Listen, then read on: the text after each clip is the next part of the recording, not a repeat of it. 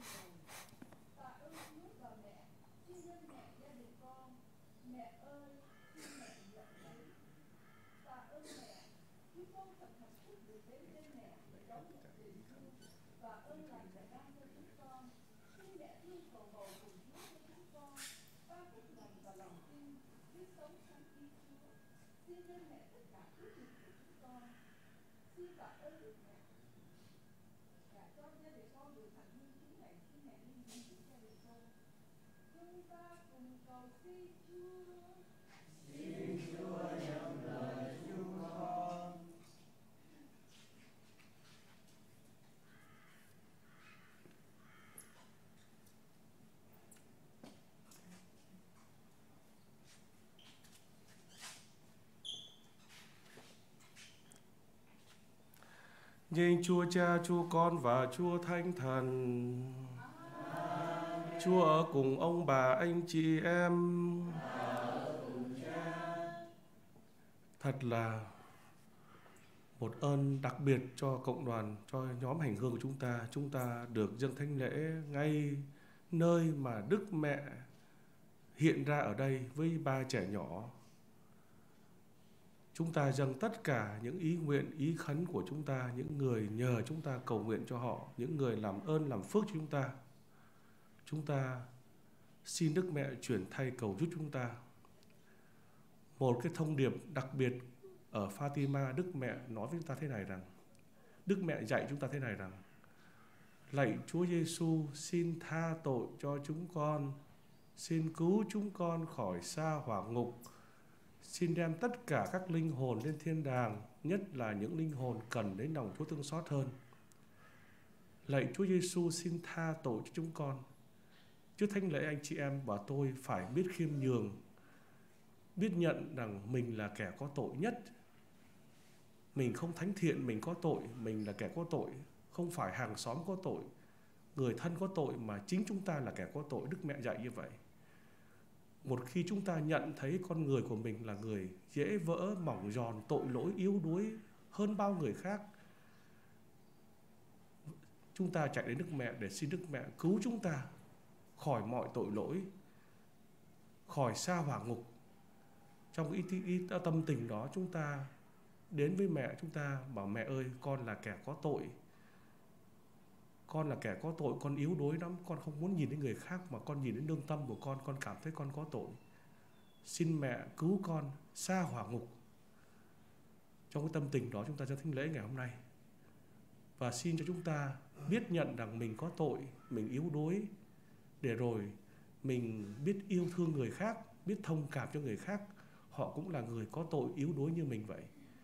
Đó là những ước mơ mà chúng ta trên thánh lễ ngày hôm nay chúng ta xin Chúa giúp chúng ta trở thành một con người của yêu thương, con người nhận ra mình yếu đuối, tội lỗi, để rồi mình yêu thương người khác, thông cảm và tha thứ cho người khác. Thì đây để chúng ta xứng đáng cử hành mầu nhiệm thánh, chúng ta xin Chúa tha tội cho chúng ta. Chúa đã được sai đến để chữa các linh hồn thông hôi xin Chúa thương xót chúng con. Chúa đã đến để kêu gọi những người tội lỗi xin Chúa Kitô thương xót chúng con. Chúa đang ngự bên hữu Thiên Chúa Cha để chuyến cầu cho chúng con xin Chúa thương xót chúng con. Xin Thiên Chúa toàn năng thương xót tha tội và dẫn đưa chúng ta về cõi trường sinh chúng ta dâng lời cầu nguyện. Lạy chúa là thiên chúa chúng con. Xin cho chúng con được hồn an sắc mạnh và nhờ lời chuyến cầu của đức trinh nữ maria vinh hiền xin giải thoát chúng con khỏi cánh sầu thương trên đường đời và cho chúng con hướng niềm vui bất tận. Người là thiên chúa hằng sông và hiên trị cùng chúa, hiệp nhất với chúa thánh thần đến muôn thuở muôn đời.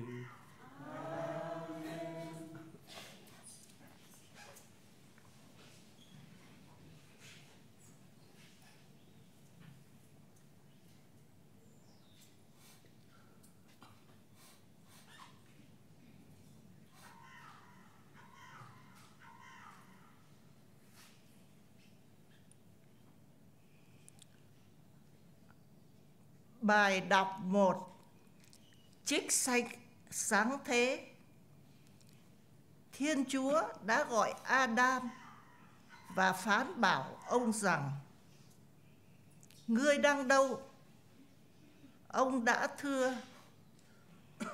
Con đã nghe thấy tiếng Ngài trong vườn địa đàng. Nhưng con sợ hãi vì con trần chuồng và con đang ẩn núp. Chúa phán, bảo ông rằng, ai đã chỉ cho ngươi biết rằng ngươi trần chuồng há chăng phải tại ngươi đã ăn trái cây mà ta đã cấm ngươi không được ăn ư Adam thưa lại, người phụ nữ Chúa đã cho làm bạn với con. Chính nàng đã cho con ăn trái cây và con đã ăn. Và Thiên Chúa phán bảo người phụ nữ rằng, Tại sao ngươi đã làm điều đó? Người phụ nữ thưa, Con rắn đã lừa dối con và con đã ăn. Thiên Chúa bảo Thiên Chúa phán bảo con rắn rằng bởi vì mi, mi đã làm điều đó, mi sẽ vô phúc ở giữa mọi sinh vật và mọi muôn thú địa cầu. Mi sẽ bò đi bằng bụng và mi sẽ ăn bùn đất mọi ngày trong đời mi. Ta sẽ đặt mối thù nghịch giữa mi và người phụ nữ, giữa mưu duệ mi và mưu duệ người đó. Người mưu duệ đó sẽ đạp nát đầu mi, còn mi thì sẽ dình cắn gót chân người. Và Adam đã gọi tên vợ mình là Eva vì lẽ bà là mẹ của chúng sinh. Đó là lời Chúa.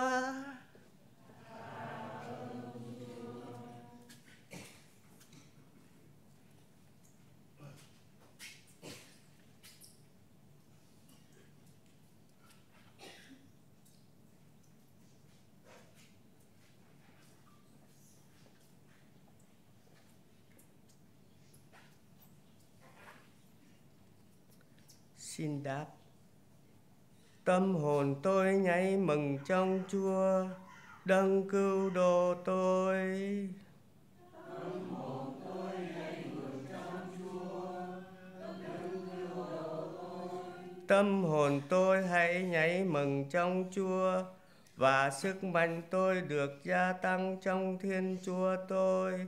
Miệng tôi mở rộng ra trước quân thù, vì tôi reo mừng việc Chúa cứu độ tôi.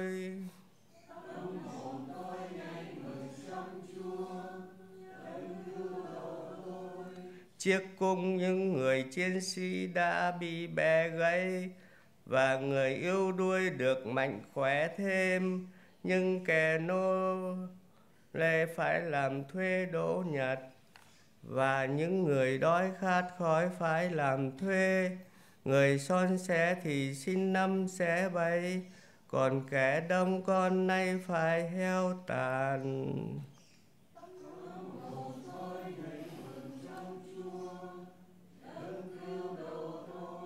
Chúa làm cho kẻ chết và Chúa làm cho sống. Chúa đẩy xuống âm phủ và Chúa dẫn ra. Chúa làm cho nghèo và làm cho giàu có. Chúa hạ xuống thấp và Chúa nâng lên cao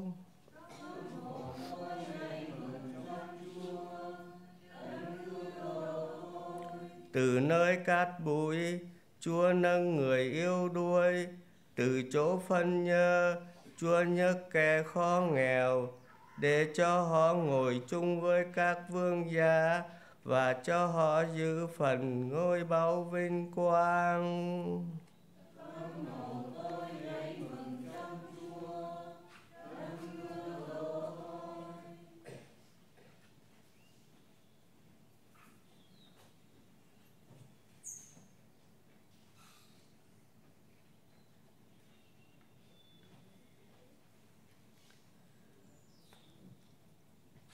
Bài đọc 2 Trích thư Thánh Phaolô Tông Đồ gửi tín hữu Roma.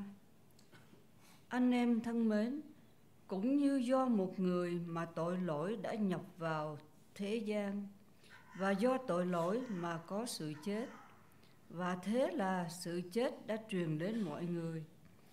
Vì lẽ rằng mọi người đã phạm tội vì nếu bởi tội của một người mà sự chết đã thống trị do một người đó, thì những người lãnh được ân sủng và ơn huệ dồi dào bởi đức công chính càng được thống trị hơn nữa trong sự sống do một người là Đức Giêsu Kitô. Do đó, tội của một người truyền đến mọi người đưa tới án phạt như thế nào thì đức công chính của một người truyền sang mọi người đưa tới các bậc công chính ban sự sống cũng như thế vì như bởi tội không vâng lời của một người, mà muôn người trở thành những tội nhân thế nào? Thì do đức vâng lời của một người, mà muôn người trở thành kẻ công chính cũng như thế. Đó là lời chúa. Xin mọi người đứng.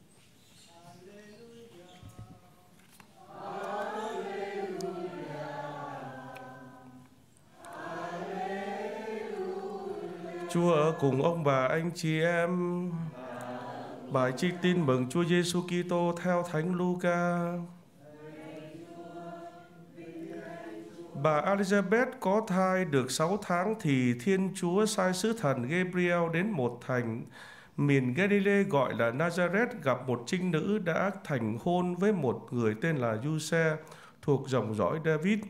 Trinh nữ ấy tên là Maria, sứ thần vào nhà trinh nữ và nói mừng vui lên hỡi đấng đầy ân sủng, Đức Chúa ở cùng bà.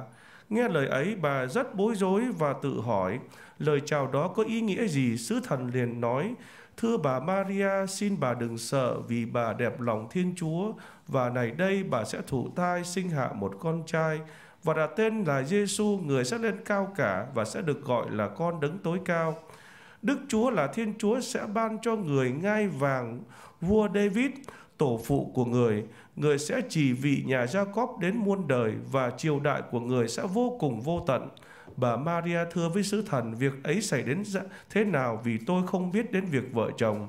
Sứ thần đáp thánh thần sẽ ngự xuống trên bà và quyền năng đứng tối cao sẽ dập bóng trên bà. Vì thế đứng thánh sắp sinh ra sẽ được gọi là con Thiên Chúa và Kìa bà Elizabeth, người họ hàng với bà tuy đã già nhưng mà đã mang thai một người con trai, bà ấy vẫn bị mang tiếng là hiếm hoi. Vì mà nay đã có thai được 6 tháng vì đối với Thiên Chúa không có gì là không thể làm được. Bây giờ bà Maria nói vâng, tôi đây là nữ tỳ của Thiên Chúa, xin Chúa cứ làm cho tôi điều như sứ thần nói, rồi sứ thần từ biệt ra đi. Tin mừng của Chúa.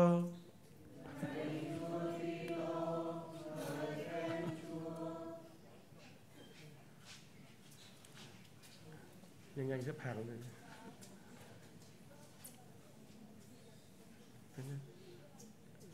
Mấy người đọc nhanh lên đi.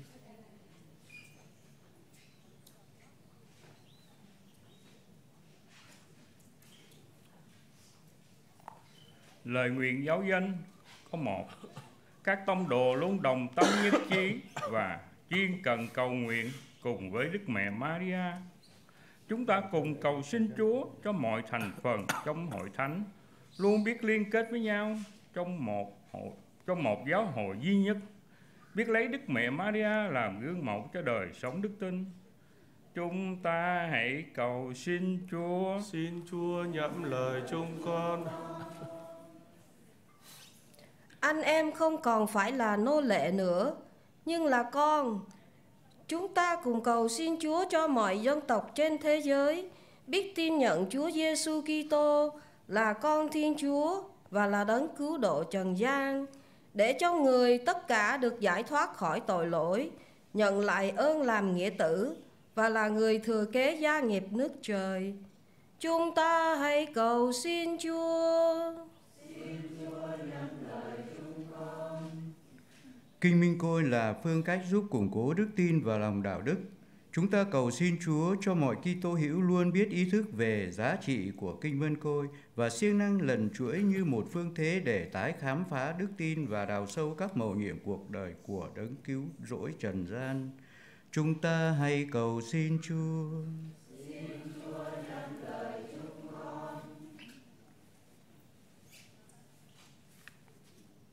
Cầu nguyện bằng chuỗi mân khôi là phương thế đơn sơ nhưng lại rất hiệu nghiệm.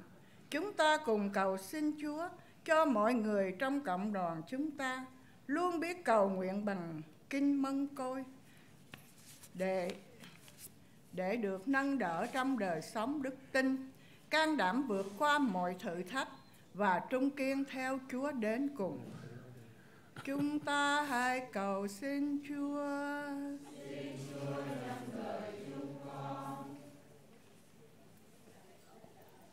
Lạy Chúa, qua lời chuyển cầu của mẹ, xin ban cho mỗi người trong đoàn hành hương của chúng con biết sống và thi hành mệnh lệnh của Đức Mẹ qua việc lần gửi mân côi.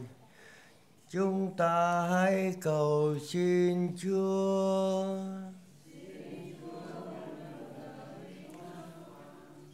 Giờ đây chúng ta xin Đức Mẹ truyền thay cầu giúp chúng ta trước tòa của Thiên Chúa. Kính mừng Maria đầy ân phúc Đức Chúa Trời cùng bà bà của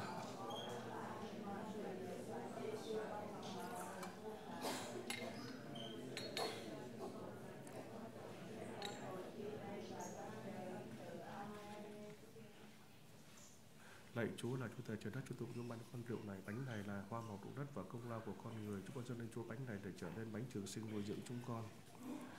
Lạy Chúa là Chúa Trời càn khôn, Chúa tụng Chúa ban cho con rượu này là sản phẩm từ kế nhau và công lao của con người. Xin dâng lên Chúa rượu này để trở nên của uống thiên linh chúng con.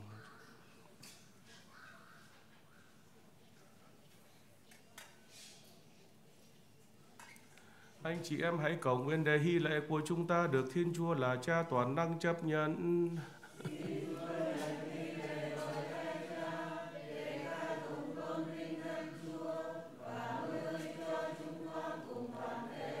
Lạy Chúa, con một Chúa đã hết tình yêu thương nhân loại, ước gì người ban ân trợ giúp cho chúng con.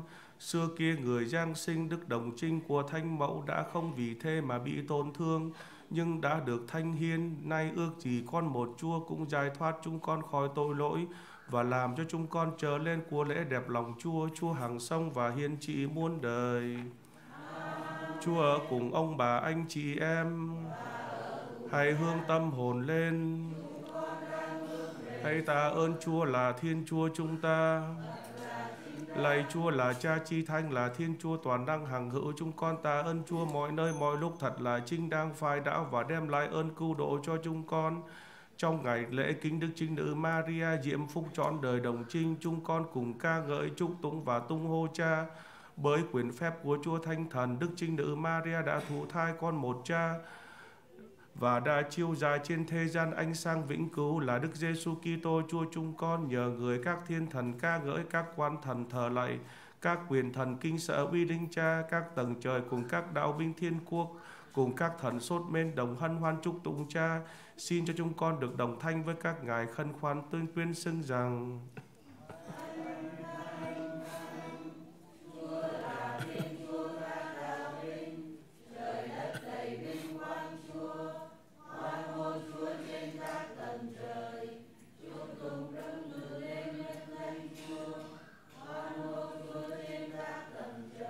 Chúa, Chúa thật là đương thanh là nguồn mọi sự thanh thiện. Vì thế chúng con nài xin Chúa dùng ơn thanh thần Chúa thanh hoa những của lễ này để trở nên cho chúng con mình và máu Đức Giêsu Kitô con Chúa Chúa chúng con. Khi từ nộp mình chịu khổ hình người cầm lấy bánh tạ ơn bè ra và trao cho các môn đệ mà nói tất cả các con hãy nhận lấy mà ăn vì này là mình thầy sẽ bị nộp vì các con.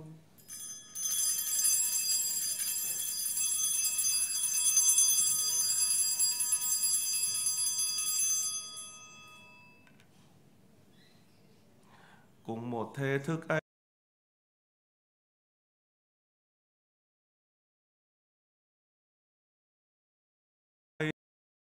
Nhiều người được tha tội, các con hãy làm việc này mà nhớ đến thầy.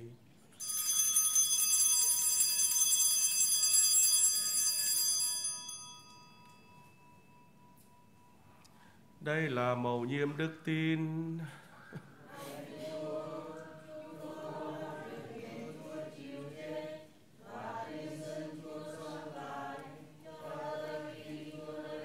Vì vậy lạy Chúa khi kinh nhớ con Chúa chịu chết và sống lại, chúng con dâng lên Chúa bánh trường sinh và chen cu đồ để ta ơn Chúa vì Chúa đã thương cho chúng con được xưng đang hậu cận trước tôn nhan và phụng sự Chúa.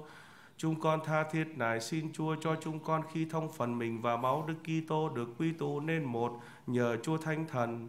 Lạy Chúa xin nhớ đến hội thánh Chúa đang lan rộng khắp hoàn cầu để kiện toàn hội thánh trong đức men cùng với Đức Giáo Hoàng Francisco, Đức Giáo Mục Giáo phận chúng con cùng toàn thế hàng giao sĩ.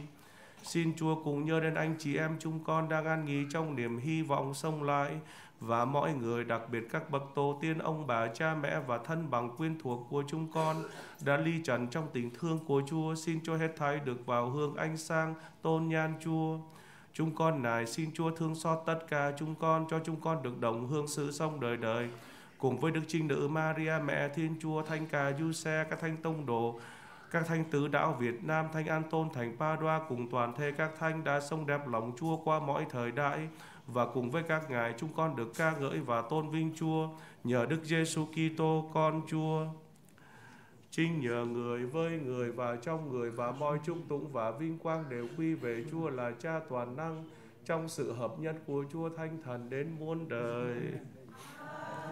Vâng lạy Chúa cứu thế và theo lời người dạy chúng ta giam nguyện rằng, Lạy cha chúng con ở trên trời, Chúng con nguyện danh cha cả sang, Được cha chỉ đến Ý cha thể hiện dưới đất cũng như trên trời. Xin cha cho chúng con hôm nay lương thực hàng ngày và tha lỡ chúng con như chúng con cùng tha kẻ có lỡ chúng con. Xin chờ để chúng con xa chưa cam dỗ nhưng cứu chúng Lạy Chúa xin cứu chúng con khỏi mọi sự dư Xin đoái thương cho những ngày chúng con đang sống được bình an Nhờ Chúa rộng lòng thương cứu giúp chúng con sẽ luôn luôn thoát khỏi tội lỗi và được an toàn khỏi mọi biên loạn. Đang khi chúng con mong đợi niềm hy vọng hồng phúc và ngày trở lại của Chúa Giêsu Kitô, đừng cứu độ chúng con.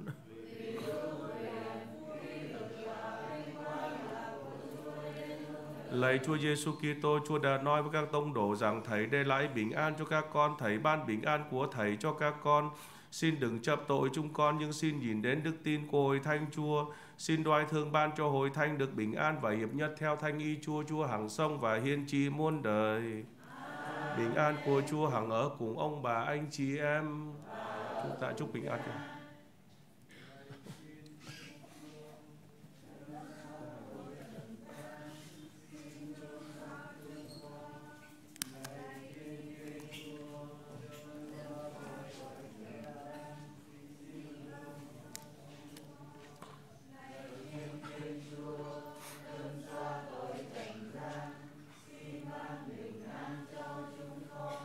Chiên thiên chúa, đây đứng xoa tội trần gian phúc cho ai được mời đến giữ tiệc chiên thiên chúa.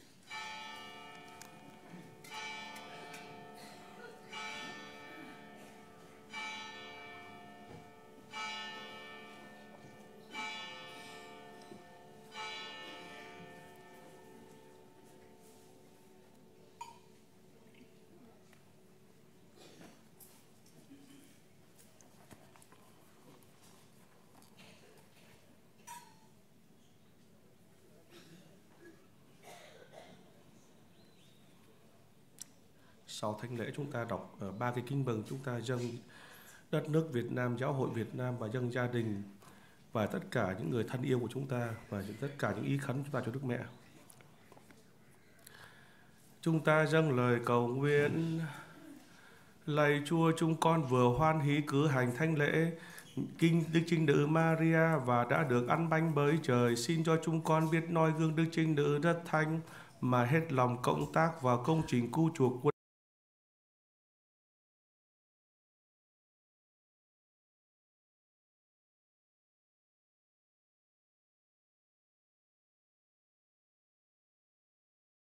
Đức Giêsu Kitô, người hằng sông và hiên trí muôn đời. Chúa ở cùng ông bà anh chị em và xin phước lành của Thiên Chúa toàn năng là Cha và Con và Thanh Thần ban phép lành trên ông bà anh chị em. Thanh lễ đã xong chúc ông bà anh chị em ra đi bằng an.